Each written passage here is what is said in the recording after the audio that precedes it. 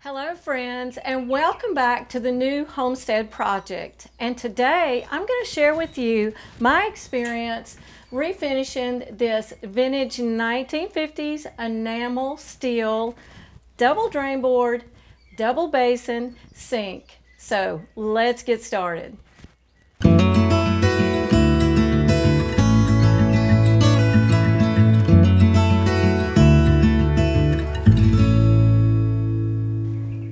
When we decided to convert a 16 by 40 shed into a tiny home, one of the things that I really wanted to try to squeeze in was a double drain board sink. So the next step was to find one and find one in decent shape. So we started our hunt and we actually found one not far from here that was in very good condition and very, very reasonable but it did have a few significant chips in the enamel, so it was going to have to be refinished. Plus, it, it had years of yellowing and it had been used, and so it did have some um, some wear and tear on it. One of the other issues was on the underside. It did have some rust, but it wasn't what we considered deep pitting rust. It was just some rust that we were going to have to address as well. So we were so tickled to find this one. And then once I got it home, then I had to do some research. My window's open and the breeze is blowing and it feels good. Um, I had to do my research on the products that I was going to have to decide on to use. And I actually settled on, after I read the reviews and watched their videos, and they have fantastic videos, how-to videos on their product, I settled on the Ekopel 2K. So you're going to have to stay till the end and I'm going to fill you in on my thoughts on the product, if I liked it or if I didn't, was it user friendly, and also I'm going to fill you in on some tips and also feedback on some mistakes that I made that hopefully will help you avoid those same mistakes. So let's go ahead and get into the footage and we're going to go from the beginning all the way to the end and then I'll be back and I'll share some more thoughts with you. So here you see the products that we're going to use to give this sink a thorough cleaning. Now to begin with, I'm going to go ahead and dampen the sink and then I'm going to cover it pretty thoroughly with the Ajax powdered cleanser. Now, what we're wanting to do with the powder cleanser is we want to be sure to get just the everyday dirt and grime and from it sitting outside in the weather and just general dirt off of it. I'm going to take a Scotch heavy duty green scrubby and I'm going to thoroughly spread the sink inside and out and once I'm done doing that, one thing that we want to be very sure of is we want to rinse it thoroughly because we want to get all of that residue off and get it ready for the next round of cleaning. And what we want to do is to ensure we get all these layers off so that the product will adhere to the sink when we're done. Now this is the Lysol hydrochloric acid toilet bowl cleaner and what it's going to do is it is actually going to remove the deep-seated minerals, the water minerals, and the things that just the general everyday scrubbing wouldn't remove. It's going to actually strip that off. And you see that I'm also wearing gloves here to protect my hands, and I'm using a new Scotch Green Heavy Duty Scrubby. Now this is a very important step. You want to be sure to rinse the hydrochloric acid off thoroughly. You don't want any of that residue on. So we're going to make sure that we give it an extra good rinsing and then I'm going to allow it to dry and then we're going to turn it over. And what we're going to do is we're going to prepare the bottom for painting. So we're going to start with steel wool and I'm going to scrub it and you can see that it's a little bit rusty on the underside. And we want to kind of smooth it down, get it good and clean, and also get it ready to paint. So this is acting as a scrubber and a sander at the same time. And so we want to be sure to thoroughly scrub it all over on the underneath and then we're actually going to rinse this as well. We're going to rinse it thoroughly and once it's dry then we're going to tape it off where we don't want any overspray and we're going to wipe it down and get all the dust off of it and get it ready to paint the bottom.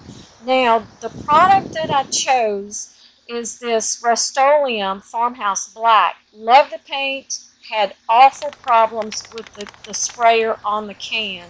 We actually ended up taking several cans back because they wouldn't empty and it was spilling all down the front. But once we got it painted, I was so pleased with it and I wanted it to look fresh and clean because it will be exposed some because the front will, under the sink will have a curtain on it. So you can see here that it really turned out thoroughly and the Rust-Oleum is going to help to prevent more rusting. Now here what we did is the chips on the sink itself, we actually covered them with just your regular Auto Bondo and then once that dried thoroughly, we sanded it down to get it to smooth and to shape to whatever section of the sink that it was on. So now we want to be sure and get all of that dust off because we want a completely clean, smooth sink and get it ready for the product. And so this is a damp rag, so I'm going to wipe it down thoroughly and then I'm going to allow it to dry. Now it's very important because the product is a self-leveling product that you level your sink front to back and side to side. That's going to give you the most chance for success as far as how the product actually lays.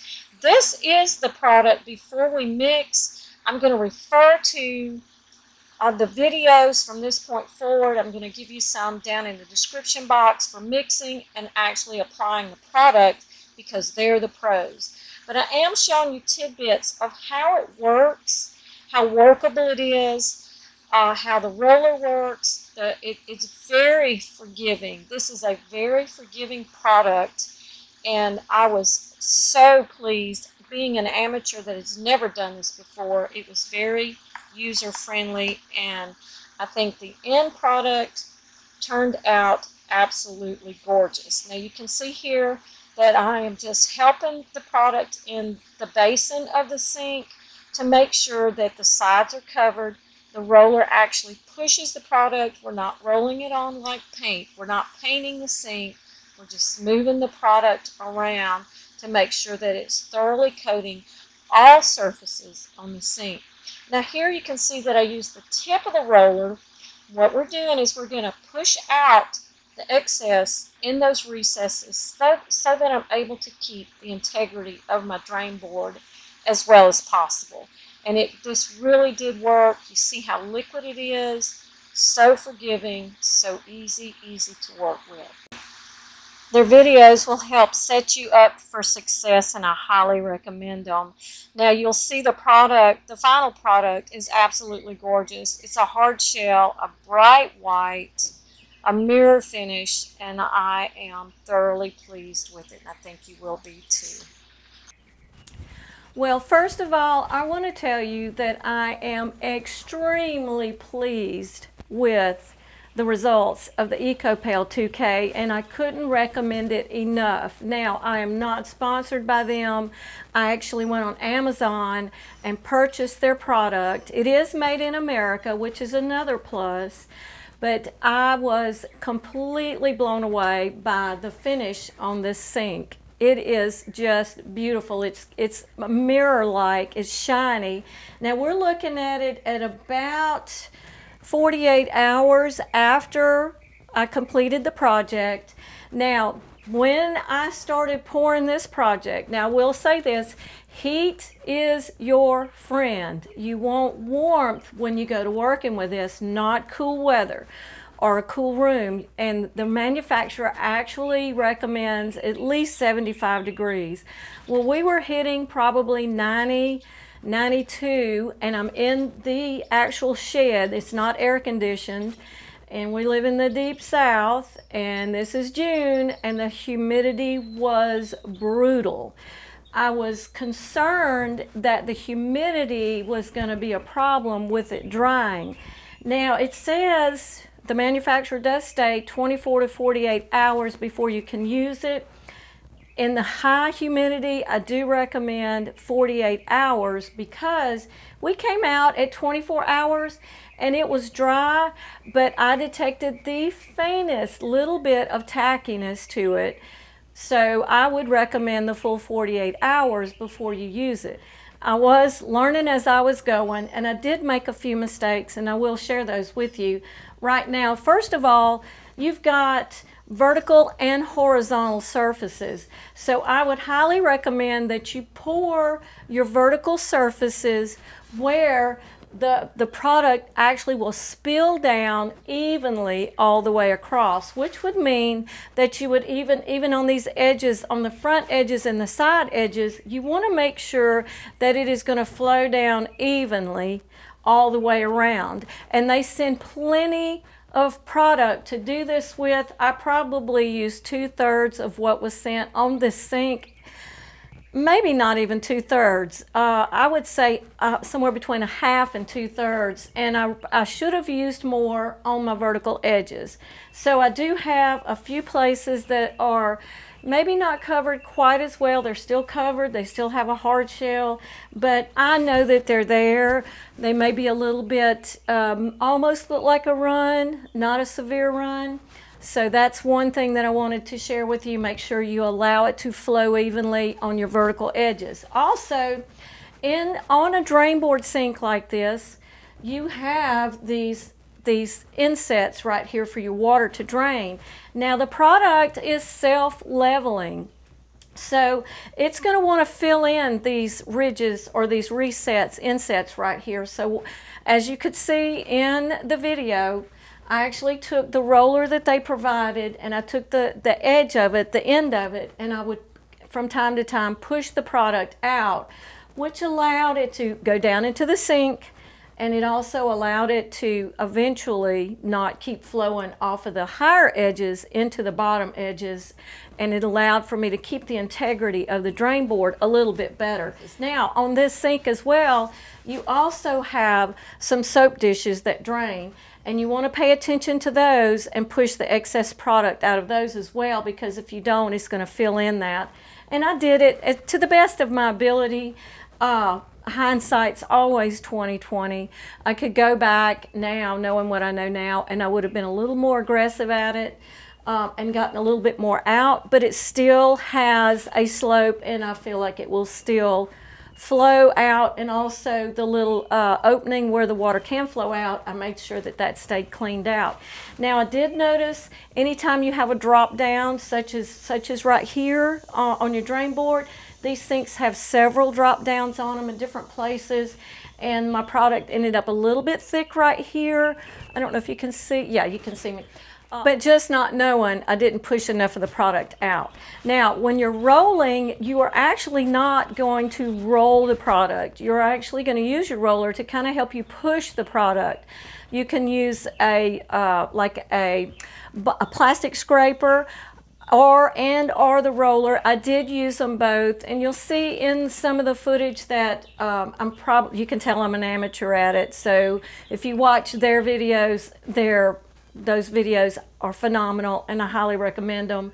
And I will leave a link to a couple of them in the description box below so that you can watch their videos. They're the pros, I'm not. So, And also another tip, as the product is dripping down these edges, you want to take from time to time, I waited a little while so that, uh, so some of it would, some of the excess would have already dripped off, but I did take my scraper just not up on the rounded edge here, just on the very bottom edge, I took my scraper and I wiped off the drops, the drips. And I actually should have gone back one last time. I did it several times. I should have gone back one last time and done it again.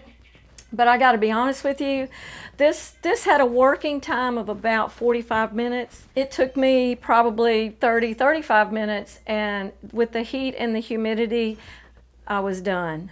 I was so hot and dripping wet, but I was so happy to um, have my sink finished. So I should have come back probably about another half hour later and did a final scrape on the bottom um, and gotten some of the, there's not many, but I could have smoothed it out just a little bit more. So those are some things to keep in mind. Now your drains, you can see the, uh, you can see the, the openings for your faucet. Your drains, I did nothing to, to those. You want your product to flow all the way down to coat the edges because that's where you're going to have rust most likely. Now, one of the selling points on this sink, besides the price, it was, uh, if, if memory serves me right, I think it was a hundred dollars. Um, and we we actually bought something else from the gentleman as well. We bought a, a steel bathtub that he had that actually we're using out in the pasture. But um, one of the things that you want to check when you're looking for these sinks is rust around your drain. Too much rust, and if especially if there's any drain missing from rust, and you're just going to have problems. You're not. It's not going to seal, and it's going to leak. This one was in almost perfect condition. So I was just, that was another point that I was like, I've got to have this sink. So it was a blessing to find it. It's a blessing to have it done now, and I'm so happy with it. I highly, highly recommend Ekopel 2000. I also highly recommend that you watch several of their how-to videos. Like I said, I'm the amateur and I made a lot of mistakes, but even at that, it was user friendly enough that I had success. So until next time, I want to share these words with you. Don't ever forget that your Heavenly Father loves you. And we'll see you on the next video. God bless.